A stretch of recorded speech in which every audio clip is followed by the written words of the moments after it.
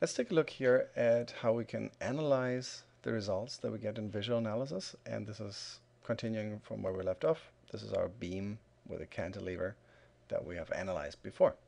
All right, so after the analysis, I end up in result view.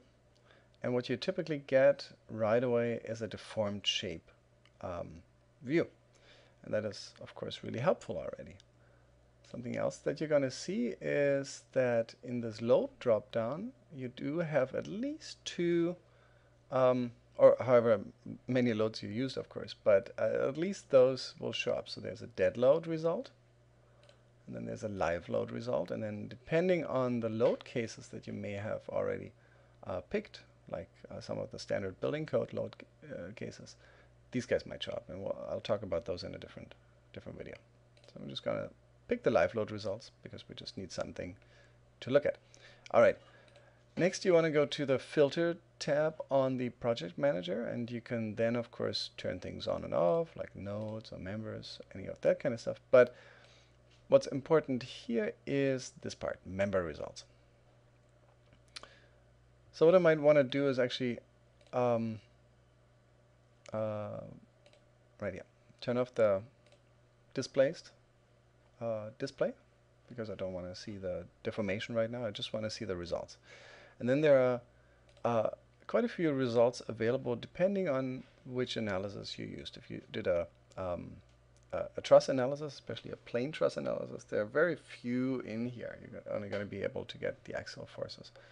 Um, but uh, the more complex the analysis, the more um, you're going to see right here. So for example, what we can look at is D and Y, which means deflection in the vertical direction. And we, that's what we saw a second ago already.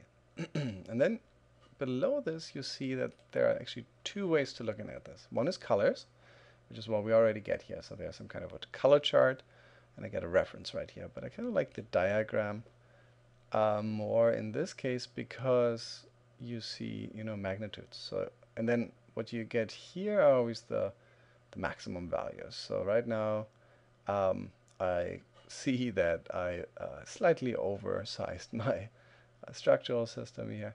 Um, and I get a very small deformation, but I do get a deformation and this maximum right here in the middle and that's the value that goes along with that. And then up here I get a slight upward um, deformation and I get the value that goes along with that. So that's one thing that you can see and you can again you know turn on reactions if you want to get those as well that'll be useful of course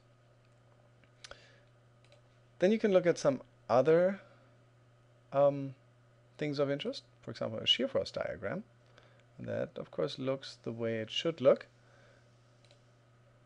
I can get a moment diagram of course. You know, I get a positive field moment, I get a negative support moment, and then of course it's zero at the ends because there was no moment, um, uh, there's no fixed joint anywhere. Um, and this is also how it should look like. So this is usually a good thing to do right after an analysis. Uh, you want to double check if your moment shape looks correct. If it doesn't, then you might have um, added wrong member releases, wrong supports. Uh, your model might not be set up correctly because very often it actually analyzes um, even if it's wrong in terms of the, the, the, model setup basically. Alright, next is uh, stresses. You can get axial stresses, in our case of course it's zero, there's nothing there, but you can also get bending stresses. And these bending stresses take into account of course the moment that we just had and the member. So if you go back to model view, I'm going to highlight my member here. And then of course the shape is right here.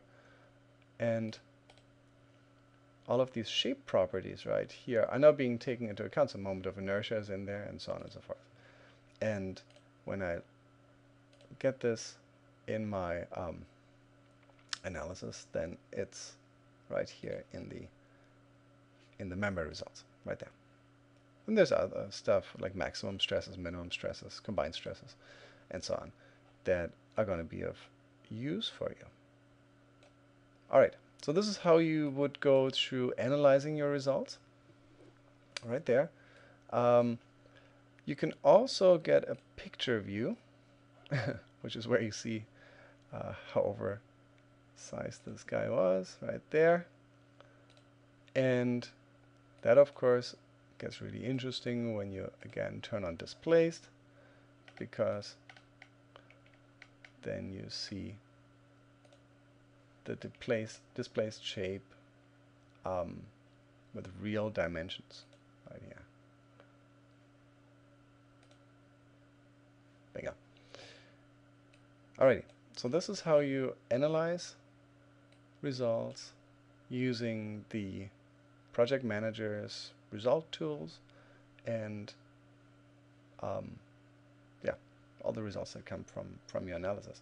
If you need to look at load combinations, and in my case I don't have any good ones right here, but if you do have different load cases, or load, load buckets basically, um, defined. In my case there's a dead load um, bucket that has all of the uh, material weight, and a live load bucket where I added a certain weight um, to the top of it. Then these load cases will be combinations of the two. Now this of course has to be set up properly and again, this is going to be in, in, a different video, but you can then go ahead and click those and they will combine the other loads as they are defined in the load cases and you can get the same member results for, for load cases at this point.